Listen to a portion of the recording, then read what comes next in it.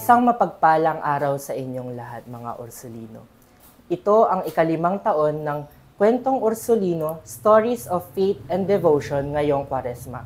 Muli na naman tayo magsasama-sama mga Ursulino para sa isang makabuluhang kwentuhan na tiyak na ating kapupulutan ng aral ngayong araw. Kasama po natin ngayon ang pamilya ng mga kamarero at tagapangalaga ng Mater Dolorosa na isa sa mga imahen dito sa Binangonan na pinakamatanda at Antigona. Kasama po natin ngayong um, ngayong araw sina uh, Tita Trisha Vital and Tita Resurrection Chulbo Sepidosa and Attorney Monet Vital Roque. Magandang araw po sa inyong lahat. Magandang araw din. So, sige, uh, pakilala muna po kayo sa ating mga manonood. Ako ang anak na panganay ng Pedro Vidal, Vital Jr. Ang tunay kong pangalan ay Teresita Vital alias Trixia. Ako naman si Resurrection Chulvo Sepidosa na anak ng pangalawang uh, anak na babae ni Lola Candida at Pedro Vital. So, ako naging panganay ngayon dahil ang aking kuya at ang ating ate ay namaalam na dito sa lupa. okay.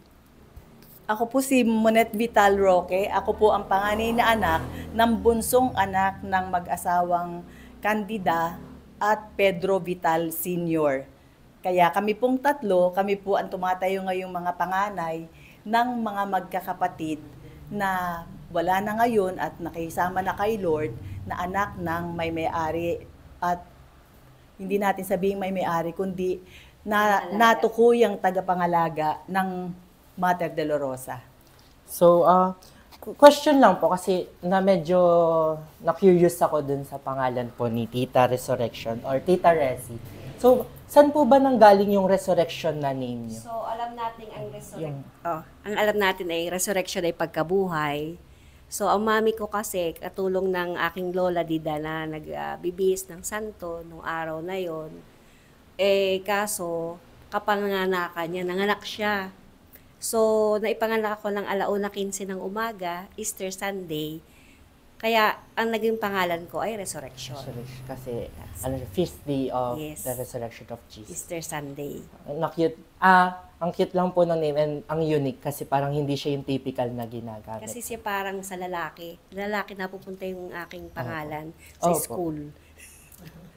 ah, napagkakamalan ng mga teacher. Hinahanap ko yung aking pangalan, hindi ko makita sa girls. So nakikita ko siya sa boys.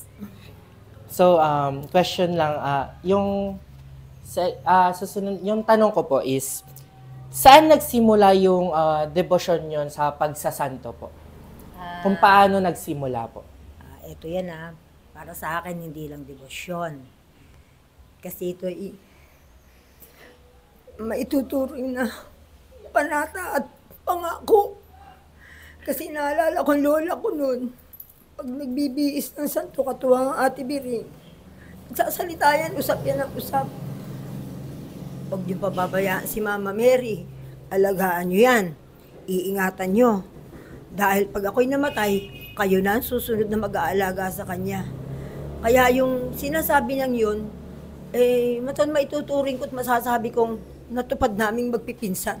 Dahil hindi lang debosyon, kundi pangako at ah, pangako at panata. Yun lang.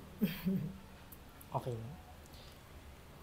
So inilaan din namin na aming ano oras para kay Mama Mary tuwing sasapit ang mahal na araw. So hindi na kami kailangan pang tawagin ng aming mga nanay at tatay para magpunta kay Lola Dida. So alam na namin na talagang yung araw na yon ay kailangan naming magtulong-tulong para sa pagbibihis ng santo, pag-aayos ng andas, na ang tawag ay, ano nga ba andas? Yung karo. Karo. Karosa. Opo. Andas ang tawag namin doon. So, um, yung pagdedebosyon or ah, pa- pagiging tagapangalaga nung um, ng Mater Dolorosa is parang panata and pangako. Siguro, or at pagmamahal siguro po. Na pagmamahal nyo sa mga magulang at mga lolo't lola nyo na patuloy nyo pa rin na ginagawa hanggang ngayon at hindi gin- binibitawan. Totoo po yan. noong mga, nung buhay pa ang aming lolo, Indo, yun ang palayaw ni Pedro, at ang aming lola Dida, palayaw ni Candida, ay wala pong usapan na na ang pagka sila'y nawala, ang magmama ang magmamana sa pangangalaga ay ang panganay na anak. Nang mawala ang panganay na anak, yung sumunod na anak na yun po ang nanay niya, ang panganay na anak ay tatay naman niya, ay nasunod din po yun. Nung pumunta po sa bunsong anak na siyang tatay ko, wala nang anak, ubus na. Kaya po, buhay pa po ang tatay ko, kanya nang diliwanag yan at nag-meeting na po kami noon na ito ang inyong mga assignment. Kaya po kahit na siya lumipas na, pumanaw na siya, ang magpipinsan po ay hindi nagkaroon ng, ng ka, ng problema kung paano ba ang ating gagawin. Sapagkat nung dumating ang panahon na yun, ay estabilisado na po ang aming mga asa-assignment. At wala na, sabi nga po ni Ate Resi, wala na pong nagsasabihan na, o ikaw ang ganito, ikaw ang ganyan, ikaw ang ganito. Tulong-tulong na po, alam na lahat ng assignment. Yun po ang hanggang ngayon ay nangyayari sa aming pamilya. So, mabalik naman po tayo kay um, kay Mama Mary, kay Mother Dolorosa. So, ano po yung, bigyan niyo po kami ng parang kaunting background lang kung saan ba siya nagsimula and uh, paano siya nap- napunta sa pamilya or yung um, taon-taon na pagsama niya sa kung kailan ba sumama talaga sa prosesyon ng pangmahal na araw ang Kasi ang natatandaan kong sinasabi niya ng Lola Dida at Lola Indo, yan ay nagsimula sa nanay niya.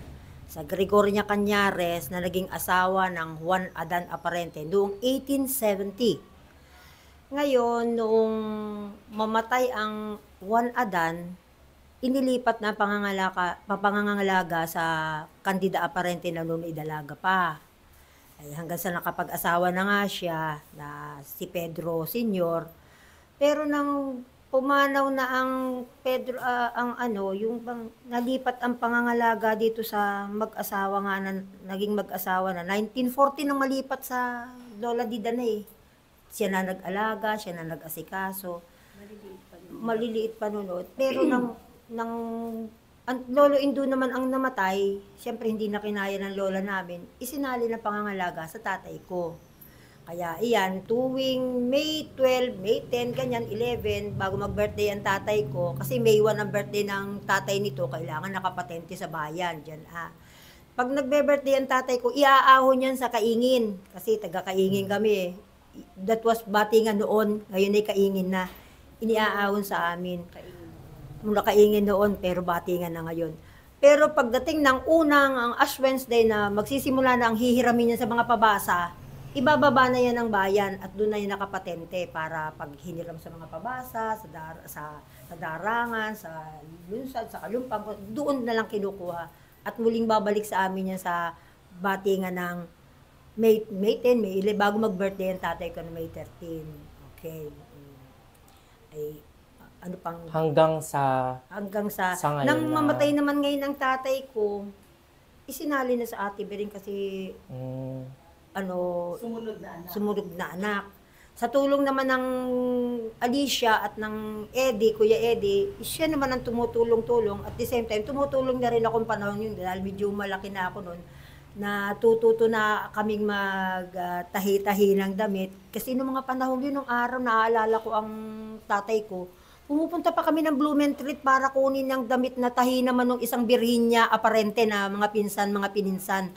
Maraming nagririgalo dyan ha. Tapos, pag araw naman ng linggo, yun namang Catalina, aparente blanco, ang nagdu- na, nagtatahi ng damit ng pansalubungan. Si Ate Biring ang pang Miyerkules o kaya pang Biyernes at yung Biring aparente ang namamahala sa ano, tatlong beses kasi binibihisan yun eh, Miyerkules, ah, Friday at saka Easter Sunday. Tapos naalala ko pa, uutusan ng tatay ko ang tatay nito. Felipe, pick upin mo na yung baterya. Kasi nung araw, hindi uso yung ganyan generator. Generator. Baterya para sa bituin. Tapos may mag-aasikaso naman din na yung kalburo. Kalburo kasi kal- Kalburo pa noon. kalburo pa noon ang ginagamit. Mm. Oo. Kaya tapos yung mga yung ah, bulaklak na plastic, ayan, yung mga yan, ilalabas nila sa taguan, nakabalot kasi plastic ang ginagamit ng araw. At saka, yung mga bom, mga bu- yung mga ginagamit na pang cover dun sa ilaw, binabalo talaga yan lang dyaryo. Tinitsagayan para sa susunod na paggamit na taon, malinis yung ano, matrabaho talagang Hindi kagaya hindi kagaya ngayon na yan na lang oh. Bilya. Oo, naka-ready na. Eh noon talaga ma mitikulosa ang lola ko. Kailangan, pagkatapos ng Holy Week, nakabalot yan, babalutin, ang mga plastic, sasabunin, itatago uli. At this, sa susunod na taon yun uli. Ngayon hindi na, fresh na ang ginagamit. Doon, plastic, paulit-ulit. bago. Mm-mm. Ikaw naman, baka gusto mo magdagdag kayo. Nasabi mo na lahat. Hindi. Ayan, mga taga, taga ano yan? Abot. Hindi, kasi nung maliit pa ako, syempre hindi pa ako marunong mag-bihis ng santo. Nanonood lang kami, magpipinsan. Tiga-abot kami ng mga aspile. So habang kalaunan lumalaki na, medyo marunong na, lalo si Trixia. Siya na ang katukatulong ng mami pagbibihis ng santo. Ngayon, doon sa bulaklak na sinasabi niya, nagsimula yun yung mga 1980s, fresh na ang ginamit. So bago yon plastic muna. Nililinis nga yon sabi mo nga, na talagang inilalagay pa yan sa isang lalagyan na may takip para pag ginamit mo muli sa next ah, Holy Week, maayos naman yung bulaklak. Dahil plastic siya eh. Mm-mm. So, pinalitan ngayon ng fresh, yun ang ginagamit hanggang sa kasalukuyan. Pero parang ang ano namin ngayon, bumabalik. Parang meron ng gumamit ng plastic ngayon. So, pag-uusapan kung plastic or may kahalong fresh flowers. So, doon naman sa Andas, katukatulong naman ng lolo ko na kagisnan ko, ang aking kuya. Dahil ang ginagamit noon, di kalburo na nga. So, meron siya mga tubo na talagang kailangan i-check kasi baka barado. Yun ang tinuro ng lolo ko sa kuya ko. Ah, kal- di kalburo. Tapos, yung tawag doon sa pinakaano ng ilaw, verina ang tawag doon. So, kailangan hindi masyado siyang malakas ang ilaw kasi puputok ang mga bumbi ang tawag doon, hindi bumbilya. Yung pinaka ano niya hindi yung uh, lamp, yung parang pinaka ano, yung nababasag kasi nangingitim kasi. Sagasayan. Oo, parang ganun. Pa- Kasi nasosobrahan ng usok, Oh. Umiitim siya. Kaya kailangan bantayan o iano yung kanyang ilaw. So hindi pa siya ano, like Oo. parang Tapos, digas pa hindi yung kagaya nga gamit. ng generator Mm. na okay lang, buksan mo lang yan, ano, okay na may ilaw na doon. Hindi, talaga Mano-mano. i-check mo lahat ng Ayun tubo. Yan po eh, nagsimula nung sa aming kaluluhan nga na napunta kay lola namin na si Candida at saka si, si Pedro. Kumo akong panganay sa anak ng tatay ko na bunso namang magkakapatid, ay ako din po ay kasama sa mga taga-abot ng aspili. Habang itong aking dalawang pinsan, ay mga makasining talaga ang mga palad nito, may mga magic talaga ang mga palad niyan, ay sila'y gumraduate bilang sila na ngayon ang mga ano, mga OIC sa pagbibihis kay Mama Mary. Ako po hanggang ngayon, taga-abot pa rin ng aspili. Hindi ako gumraduate dyan sa pag-aabot. Ngayon yung transition naman ng bulaklak from plastic to fresh flowers, talagang yan ay pinagsisikapan ng buong pamilya kung papaano mag, magpo-provide ng fresh flowers. Kaya yan po talaga, kahit siya ay plastic, kahit siya ay dahon, kasi dahon na ngayon sa Biyernes Santo, yan talaga ay pinag-uusapan ng pamilya. Ngayon, hindi na ngayon pinag-uusapan kasi nga may assignments na kami. Pero yan, challenge na yan ay hinarap ng pamilya para makasunod sa requirement ng Mm. ng ano ng Ang enkargado. parish. Kaya ganun po ang nangyayari sa ngayon. Sa pagdiriwang ng mahal na araw, ayan po, di ba? ah, pag mahal na araw, nilalabas nga po ang matter. So, sa pagdiriwang ng mahal na araw, ano po yung parang masasabi nyo na, na about sa pagdiriwang ng mahal na araw ng binangonan? Ano po yung ginagawa nyo or ano po yung mga nakikita nyo tuwing mahal na araw dito sa bayan? Di, As usual, noong, noong panahon na inabutan ko na, siyempre, iilan lang kami noon, labing apat. Oo, ano, labing apat ano? Panlabing tatlo kami, pang labing apat ang inchero.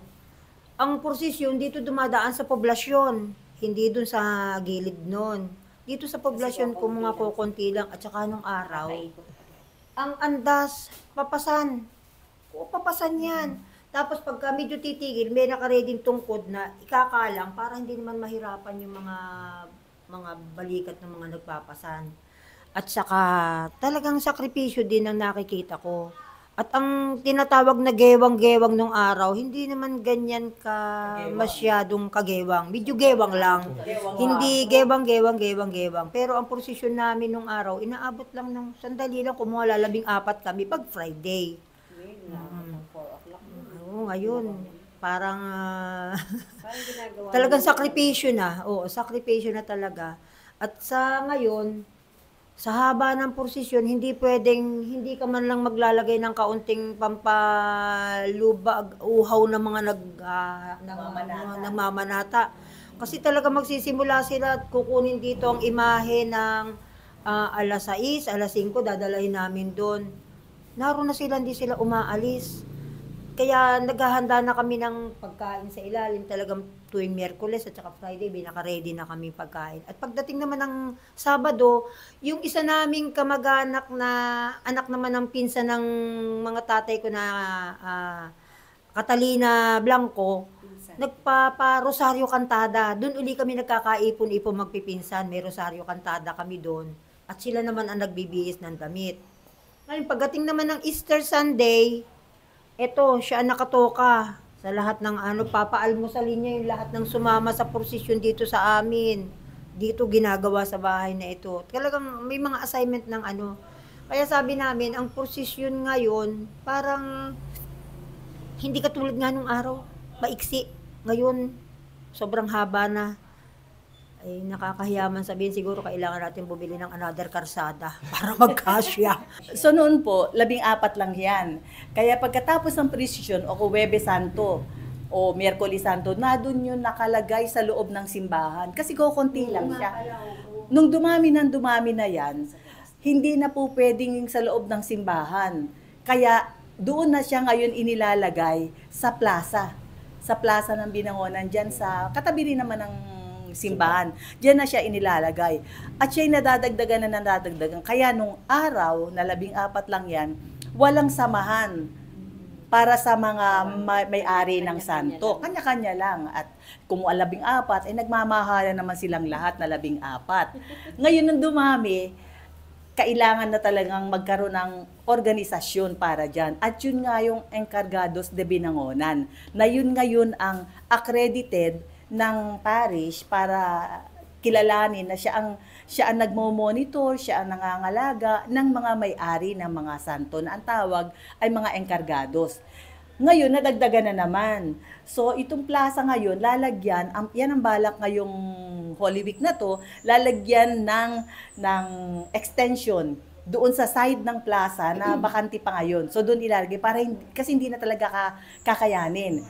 At yung pinagdadaanan ng prosesyon, taon-taon na lang yan ang komento ng mga ng mga tao dito, ng mga parishioners. Kasi bakit daw bago ng bago ang daan?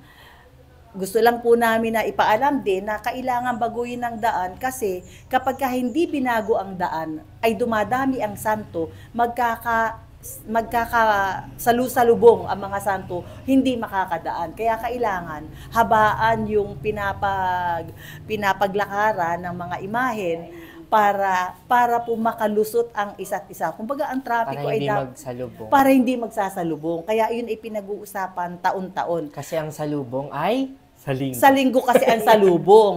At yan pa palang yung salubong na yan, nung mga bata pa kami, o ito din, kasama ito. Oo. Um, merong kasama sa sa ano sa aktibidades ng resurrection ng salubungan, meron yung tinatawag na waswas. Kasi daw yun daw yung nagkasalubong eh happy ang mga ano kaya na, may happy ang mga Kristiyano noon kaya may nagwaswas bilang simbolo ng kanilang kaligayahan. Pero bago pa yan, bag, nung kami maliliit, nagwaswas ako noon noong noong ano pa ako. na, nine- 1976, mga ganyan. Ngayon naman, pero bago pa kami nagwaswasun, kami, kaming mga apo ng Lola Dida namin, ay bawal sa amin ang sintonadong kumanta. Kasi meron nung itinatayong mga maliliit na mga stage diyan sa may sa may simbahan at kami ay kumakanta. Ano ba ang ating Linggo ng kinakanta? Linggo ng Palaspas. Yun naman. Nagoho sana kami. May nakaputi kaming lahat, tapos may, may mga bulaklak kami. May maikling, maikling sample. Ah, Wala yun. Ang aming... ano, ano ang sample daw? Oh, sana. Sige nga, sige. Sige nga, kantahin mo nga. Hindi ko kabisado masyado lyric. Elementary pa tayo nung kinakanta ko. Ano ba yung kinakanta natin? Ah, eh, Saan ano yun? naman Sa sa Padasal Rosario yun? Kantada naman. Ah, sa Padasal yun. Padasal. Oo. Parang yung aming Rosario Kantada. O sige. Pag Sabado yun. Pag Sabado. Parang para family reunion namin mag Konting-konting, Sige, maikling. o sige. Virgen Divino. Ready. Virgen Divino Sagrario Nuestras glorias cantaremos los misterios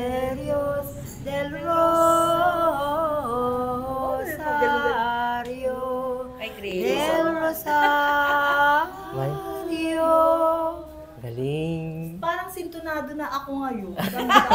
Eh, wala na tayong practice. Isa pa pala yun, sa mga pamilya, kadalasan, kaya nagkakasama-sama, Dahil ay dahil sa may, videoke. dahil merong kasalan o di kaya lamayan. Sa pamilya namin, ang mas taka, ang mas na aming nagiging reunion ay ang Holy Week at yung videoke. Kaya sa, sa, sa masaya lang. Sa masaya lang ang mas Dahil na ma- din sa ano nga, sa Mater Oo, Dolorosa. at saka yung mga nasa abroad namin na mga kamag-anakan, kung po pwede nga lang at magagawa nila, itina-timing nila yung kanilang pag-uwi sa Pilipinas Ng pagka Holy Holy Week. Oo. para sama-sama talaga. Mm. Ano yung nagawa nung ah, pag-aalaga nyo or pagdedebosyon nyo sa santo sa inyong buhay, sa personal life nyo po? Unity. Pagkakasundo. Pa- para kang si Presidente. reunion. Para reunion namin magpipinsan, masaya, nagkakasama-sama kami. Sama-samang tumutulong habang inaayos to. Sama-samang kumakain. Kumakain. Siyempre, hindi kumakanta. Mm, kumakanta. Mga, siyempre, first time nag for the whole day, puro trabaho ang inuuna. Pero pagdating ng week, kumpleto dito, may nagtutuhog ng sa sa sa kurtina ng ano, talagang assign na assign kurtina ng santo, may nakaakyat doon.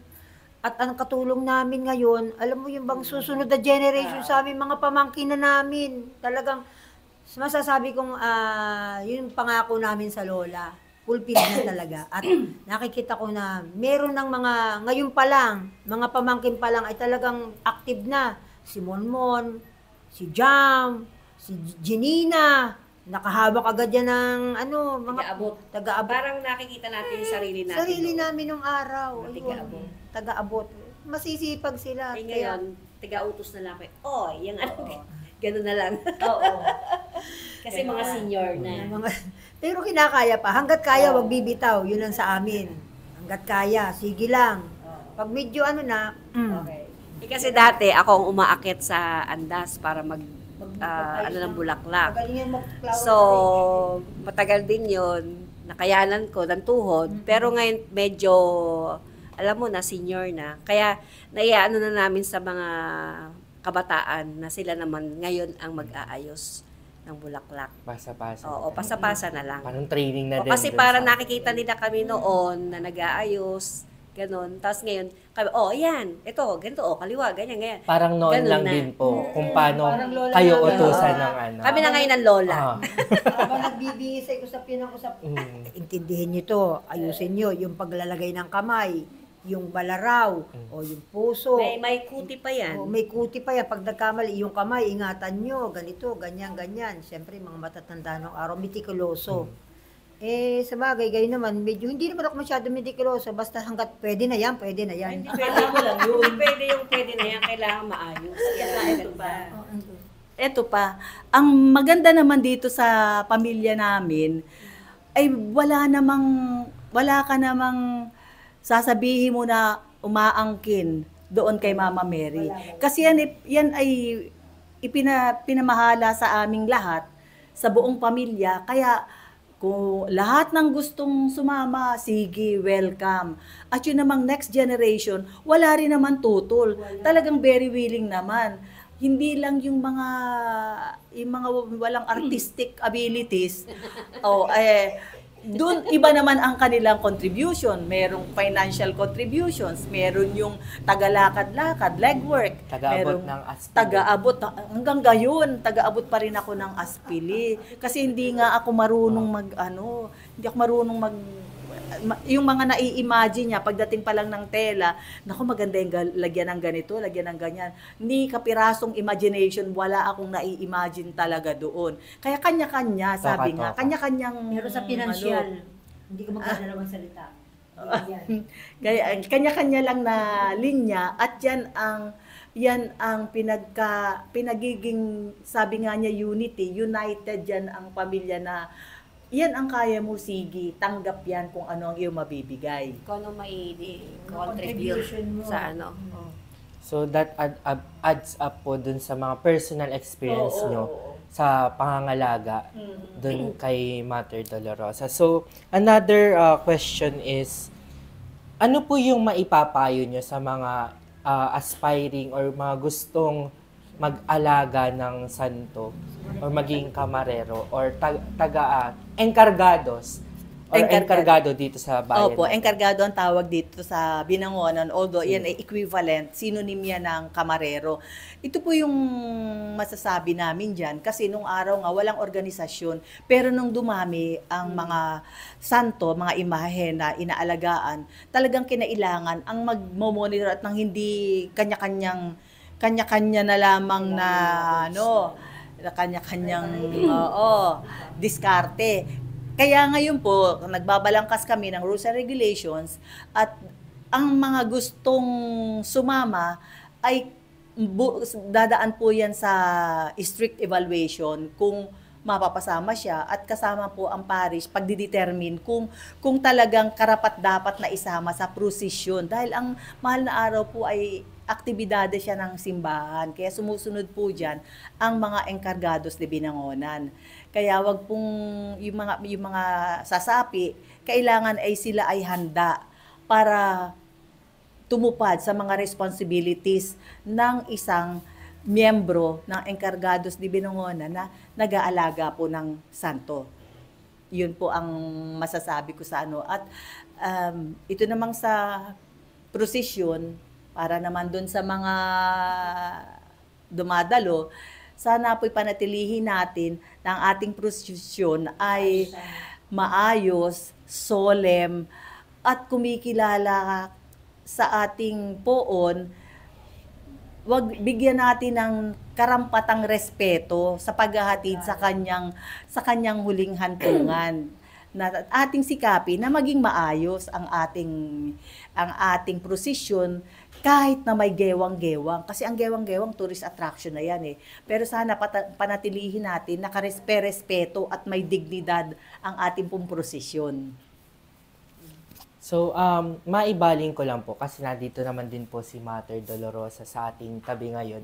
So, ano yung parang um, ah, dalangin nyo na parang sa experience nyo po sa inyong ah, sariling buhay na parang tinupad niya or ah, in, in, in her intervention with God, yung intercession rather with God, ano po yung parang um, panalangin nyo na sinagot ni Lord through her? Ah, hindi ako sakitin eh. Kasi sinasabi ko sa kanya, bigyan mo pa ako ng mahabang buhay para maalagaan kita. Lang. Oo, ganun na nga. Ah, basta ang dasal namin, kailangan na sana kami ay alagaan din niya, katulad din ng pag-ngalaga namin sa kanya. Pero hindi naman yung sinasabi mong, oh, mo inaalagaan mo siya. eh. Kailangan alagaan mo Mm. kami. Hindi ganun. So, panalangin namin sa, oo, parang dasal namin sa kanya ay tuloy, oo, maging malakas kami, magkakasama pa rin, walang magkakasakit or ano. Basta magkakaisa lahat. Oh, masaya. Sa masaya lang. Oh. I, i- ang ang mga pamilya naman eh hindi lahat ng panahon ay yan ay happy. Na, mayroon tayong happy, mayroon tayong sad na mga instances sa buhay. Ang pagkaalam ko para sa aking magulang, yung bunsong anak na si Felipe, isa sa kanyang mga wish sa kanyang buhay ay mapagtapos niya yung kanyang mga anak. Kaya ang panalangin talaga niya, ganun-ganun na lang. At natupad lahat yun. Natupad lahat yun. Kaya nung ako din naman, ang isa sa pangana, mga panalangin ko rin yan sa Mama Mary, despite na napakarami nating challenges nga, ay mapagtapos ko rin yung mga anak na anak ko. So lahat sila ngayon tapos na rin. Kaya gusto kong i-attribute yan, yung, yung pagkatupad ng aking wish na yan, sa malaking bahagi kay Mama Mary. Kasi talagang hindi siya nagpapabaya. Hindi lang sa pamilya mo, sa core family mo, kundi pati sa iyong mga kamag-anakan. Talagang sama-sama talaga eh. Hindi, walang iwanan, sabi nga. Kaya hindi kami nag-iiwanan despite the challenges, walang bibitiw. At yung mga challenges na nakaharap namin, ang nangyari lang dyan ay lalo kaming pinagbuklod-buklod sa bandang dulo. Lalo kaming naging ma- matindi ang aming samahan. Yun. At yun ay ina-attribute namin kay Mama Mary kasi hindi kami bumibitiw sa kanya. Ano na lang po yung gusto nyong, ah, may gusto po ba kayong pasalamatan or sabihin sa ating mga manonood about sa ah, inyong um, faith and devotion? Ako ang una kong pasasalamatan. Ang ah, pinsan ko, si Philip Junior. Siya ang ah, siya ang ah, sumasalo ng aking mga pangangailangan pagdating kay Mama Mary kasi medyo hindi ko kaya, hindi ko kaya minsan. Pero siya, tinutulungan niya ako. Ah, pamamagitan din ng hindi na hindi naman eksaktong pinansyal pero yung mga damit niya sa kanya minsan nanggagaling pag hindi ko na ma-afford. Philip, help. Medyo kulang ang budget ko. Dadating at dadating yan, dadating. At saka kay Monmon, na pamangking ko, nako, talagang hands-on yan dito parati. Pag dumadating ako, nakasampa na yan sa andas, nag-aayos na. Kay Jam, at ano nga, siya pa ang kinakaya na nilang dalawa na sila na ang mag ah, bumili ng damit na pang isang araw. Kasi hindi naman kakayahin ng, ng isang ano lang ang kanya lahat ng tatlong damit. Meron na siya, nagko-contribute na siya. Sa aking mga pinsan, si Noli, na siya nag-aasikaso ngayon si Arnel. Ayan. Si Ate Perly. Ayun. Sa aking mga mga pamangkin, mga kapatid, mga pinsan, lahat-lahat na. Ikaw, Resurrection. resurrection. So, nabangit na niya lahat. So, lahat mga kapatid ko, ah, Kuya Eddie ko, na ngayon ay wala na rin, pati si Ate Ali, sila talaga ang nanguna noon na pag, ah, pag-aayos noon kay Mama Mary, kasama si Trixia. So, kami tiga-ano nga rin ng, ng Aspili, ganun. Aspili girls. Aspili Girls. So, mga kapatid ko rin, lahat sila, tulong-tulong, magpipinsan, tulong-tulong lahat. Walang, walang ano, walang no, no, no, lahat sila tumutulong. O, sana naman ay, At si Ernie. o si Kuya Ernie na Blanco. Blanco, na anak ni Ate Taling, Catalina. na, bali, ano, ah, pamangkin, pamangkin ng, Pinsan natin oo. eh. Ang Oh, pinsan na yung pinsan mga- ng ni. Virginia, Vital, Chulbo. Ah, sila ngayon ang ano, ang tagapangalaga. Pagka Araw pag ng- araw ng linggo, Sunday. sila naman nagbibihis nga ng santo. So lahat tulong-tulong. Walang ano, walang ibang ah, lahat lahat masaya dahil tugtutulungan. At saka itong mga sinabi nila ngayon, eh yan ang mga buhay pa ngayon. Pero marami ring mga wala na na kakilalanin din natin dahil yan ang ano eh, yan ang mga forerunners ng pag ng pag-aalaga sa santo. Mga nangamatay na yung iba, sina si, Oo, pero buhay pa ang nanay ko pero for for a time nag nagtatahi din siya ng damit ng Mama Mary. Pero yung mga wala na, Fidela. si, si Capidela, si Cabusyo, Busyo, si Amado. Kaamado, yan. At saka may mga pinsan kami na mga taga pila-pila, hindi yan nakakalimot na makitulong sa Kahit meron, Ka- kahit ka- meron ng sariling may ano, sarili ng parish ang pila-pila pero kahit na may sarili ng parish, naghiwalay ang parish ng pila-pila at saka dito sa poblasyon, tumutulong pa rin sila. So pasasalamatan din natin yung mga yan at saka yung mga wal si Kuya Nilo na asawa ni na asawa ni Ate Bering na kanyang tatay. Naki, tumutulong din 'yan. At yun nga ang sinasabi namin, ang transition sa next generation ay very smooth at maganda at nagkakasundo ang lahat. Kaya yan ay nagbubuklod sa aming pamilya through Mama Mary. Yun. Ayun, salamat po sa kanila at sa mga ah, nauna pa dahil sa magandang naipasa nilang um, tradisyon at pamana. So, ayun lang po. Maraming maraming salamat po, Tita Resi, Tita Trisha, and ti- Attorney Monet po. Maraming Yes. maraming salamat po You're sa welcome. pagpapaunlak niyo sa amin na interviewin at kausapin kayo. Kung gusto mo pang interviewin pa ulit kami susunod na panahon, okay pa rin kami. welcome kami. Oo, para may change attire. Yes. Thank you po. Maraming salamat sa pagtutok at panonood mga Ursulino sa ikalimang taon ng Kwentong Ursulino Stories of Faith and Devotion. Ako po muli si Frederick. Magkita-kita po tayo sa susunod linggo. Paalam!